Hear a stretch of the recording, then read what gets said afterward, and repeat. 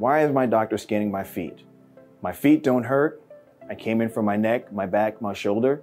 But you want to have a foot scan so that way you can identify if and how your feet are affecting the rest of your body. Well over 75% of the population has some level of pronation and are great candidates for orthotics.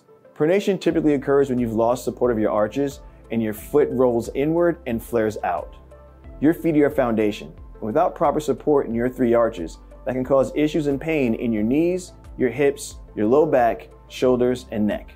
So, if you'd like to get your feet scanned, ask your chiropractor today or visit us online at footlevelers.com.